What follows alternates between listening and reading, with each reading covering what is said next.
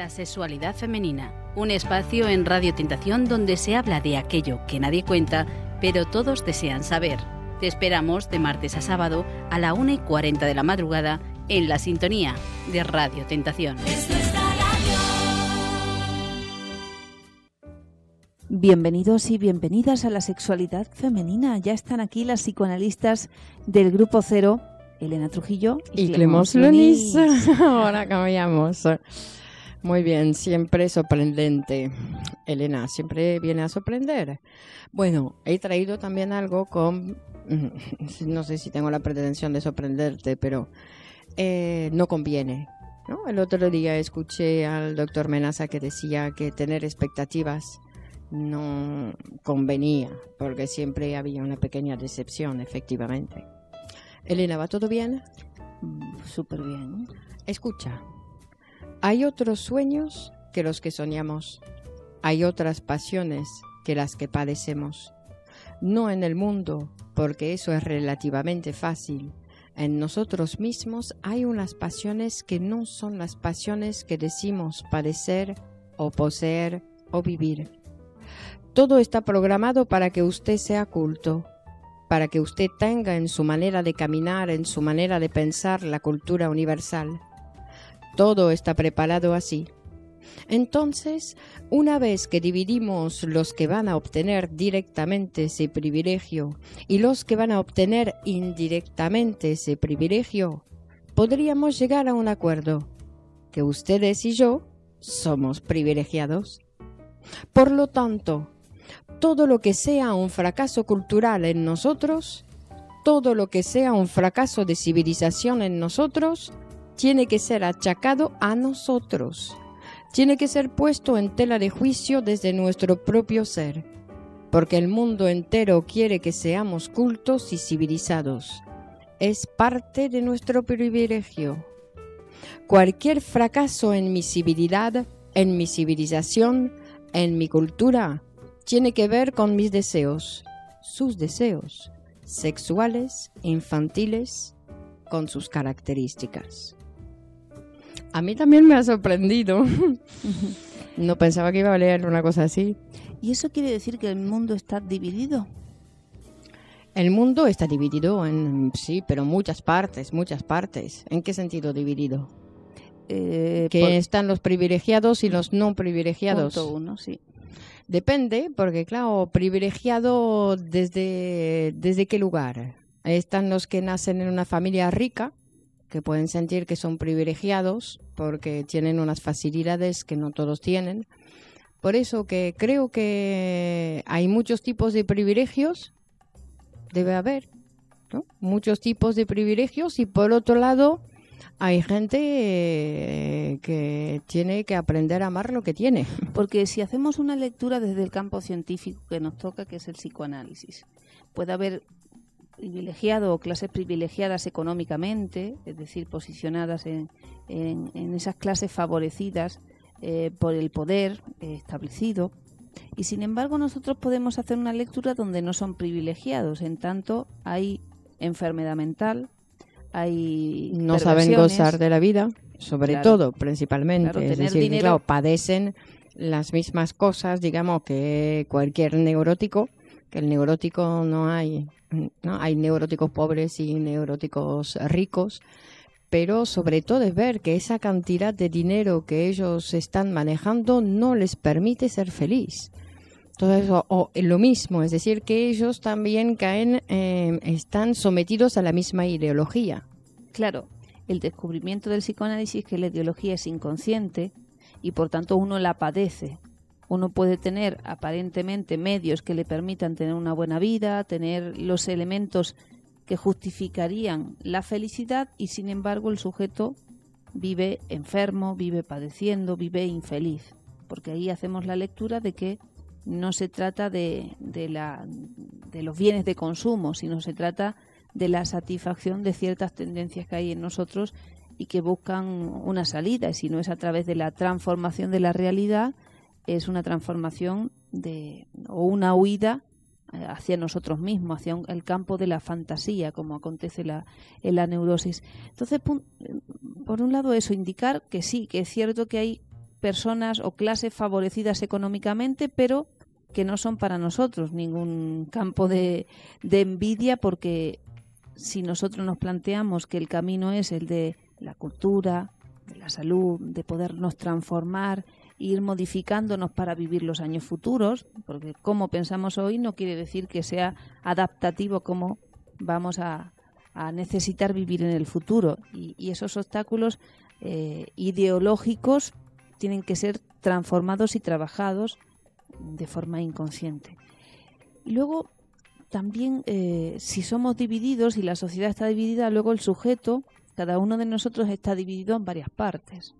Es decir, hay partes que conozco de mí porque son de mi conciencia, son partes eh, donde hay una cierta razón o justificación. Bueno, es un cierto tipo de conocimiento, ¿no? Es como cuando uno se mira en el espejo y conozco, digamos, que puedo ver si estoy maquillada o no, que si estoy peinada o no, pero mucho más, ¿no? Porque hay gente que dice, conozco mis límites o conozco mi... No, pero que no, uno no sabe. Es una máscara. Hoy justamente hablaba con mm. una persona que, que había observado cómo frente a los demás, es decir, si no tenemos a otros que nos constituyan, que nos miren, que nos permitan vernos, uno no se ve si es lindo o no es lindo, si andas erguido o andas eh, achatado, si... Pero depende de la imaginación de cada uno según el día. Hay días, hay días donde salgo y soy guapísima y hay otros días que uf, me quiero esconder porque no tengo, porque dependo de lo que de mis ideas, de las ideas que tengo en la pero cabeza. estoy apartado del mundo. Porque en el mundo es el mundo de las relaciones sociales. Y esas relaciones que me establecen me constituyen como bello o no. Mi belleza no está en mí. Eh, ser humano depende de mi grado de civilización y eso no es una cosa individual o solitaria, es una cosa entre los otros. Soy civilizado con las relaciones que tengo.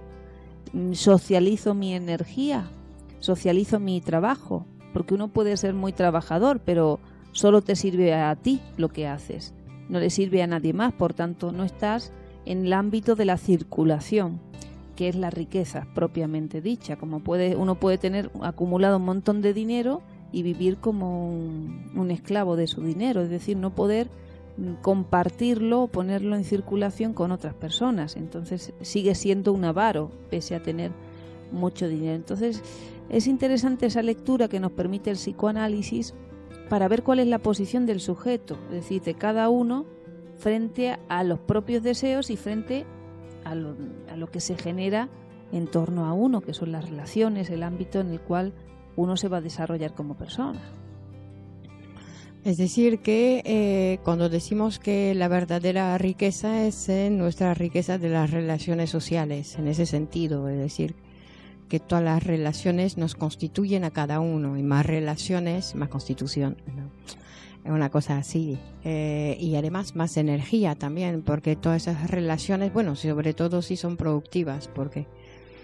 ¿no? Relaciones profesionales, relaciones productivas. Es decir, bueno, lo productivo no puede decir da producto. O podemos decir lo productivo es que yo me voy transformando así como se van transformando esas relaciones con el paso del tiempo. Eso ya en sí sería lo productivo. Porque si tú solo valoras productivo porque hayas producido 0,1 céntimo más, yo no sé si tú has conseguido algo.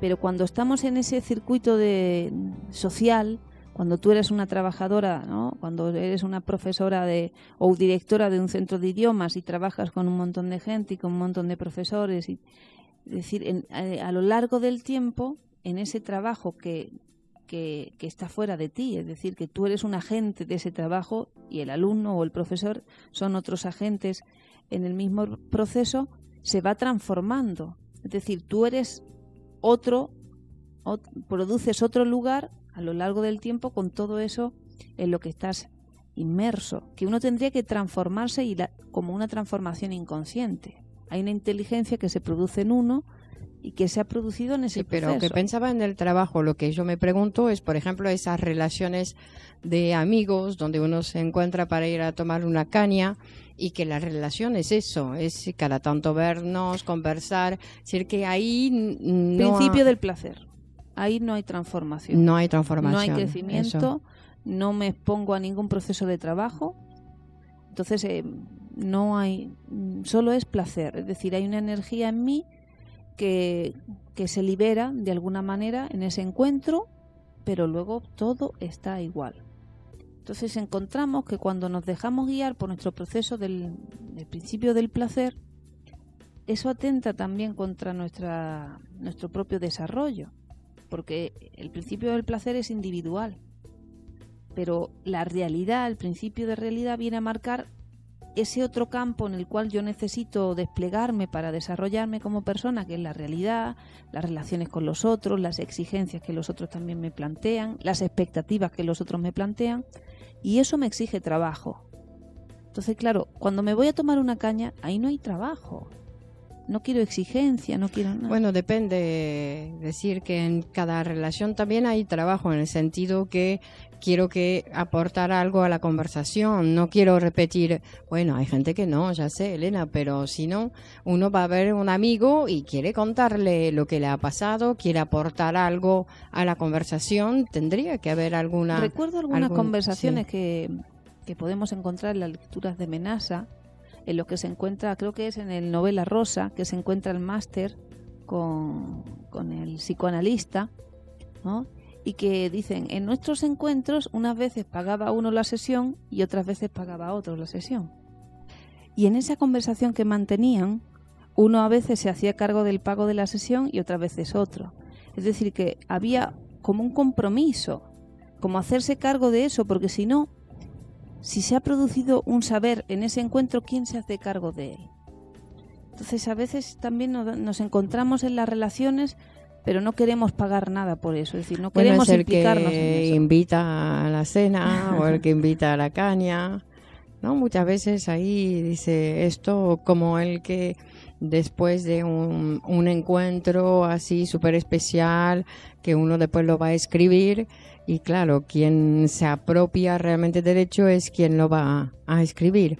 Entonces, un poco en el mismo sentido, el que paga es el que se va a llevar el asunto. Incluso por eso que a veces conviene que todos paguen un poquitín, así cada uno se lleva su parte de los encuentros. Claro, porque pagar que quiere es como interpretar, ¿no? Una interpretación donde algo de esto me ha me ha servido, para que me pueda servir, lo pueda utilizar, tengo que comprarlo, tiene que ser mío. Porque si no es tuyo y te lo estoy robando. Entonces es una cosa simbólica. que no se puede robar. En psicoanálisis ya no sabemos, no se puede robar. no se puede llevar algo no pagado. tengo el conocimiento, la interpretación la escuché, pero es un conocimiento, no me sirve. No me sirve, no me lo puedo, no me lo puedo apropiar, no puede ser mía. Entonces es una cosa que no, por eso que hay gente que parece que tiene mucho conocimiento, que viene, que son muy eruditos y todo eso, pero que después a la hora de vivir, cuando uno mira su vida y dice, este no fue tocado por ninguna de esas frases que, que va utilizando ahí con los alumnos, por ejemplo. El psicoanalista ya cobra, cobra o tiene una función muy importante más allá de lo que diga o lo que haga con el paciente, que es la función de poder cobrar para que el paciente se analice. Es decir, para que el paciente tenga, compre ese billete para ese viaje que va a tener lugar en su vida, en algún lado tiene que pagar.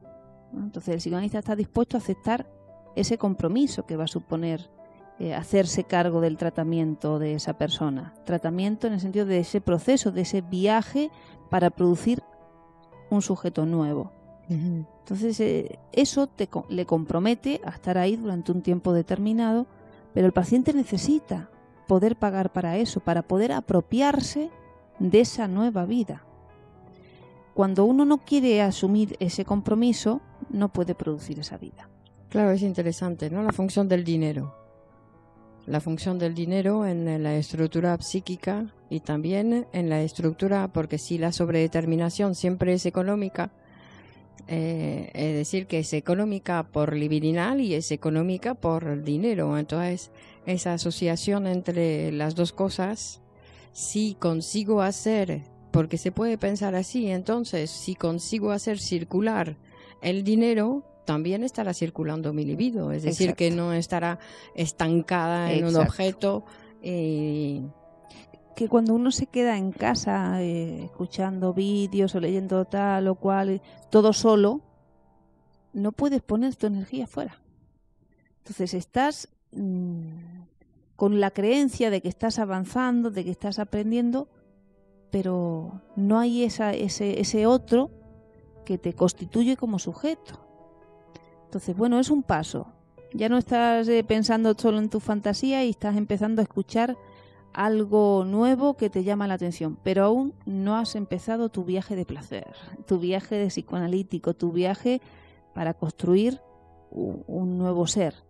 Claro, es interesante también porque pensaba en lo en los obsesivos, esa, ¿no? Que bueno, todos tenemos un poco de, rasgos de eso, porque el obsesivo es detenerse siempre sobre el mismo lugar, que sea con una manía, que sea con una obsesión, con una manera de pensar determinada que no puedo evitar, también tiene que ver con la circulación del dinero, claro está. Es decir, que si después eh, modifico, digamos, mi energía libidinal, se tiene que modificar también la circulación del dinero. Que, ¿no? Es decir, pago siempre en el mismo lugar, no puedo pagar en otros, o diversificar los pagos, o ganar más dinero para hacer circular también más, eh, más dinero. Claro, porque si decimos que nuestra energía está haciéndose gracias a nuestras relaciones sociales del mismo modo, es decir, que mi economía eh, en euros o en dólares o en lo que eh, va a depender también de esa de ese movimiento.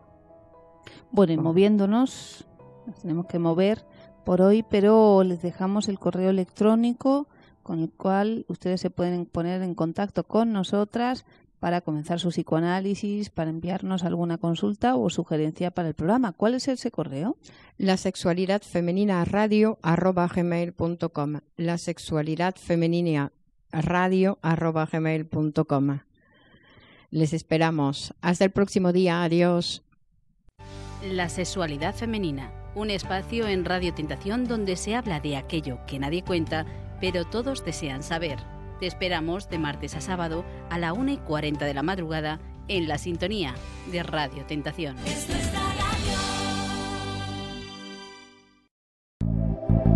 La vida se compone de innumerables pasos que a veces no sabemos a dónde dirigir. Psicoanalizarse es abrir un espacio en tu vida para vivir mejor los años futuros.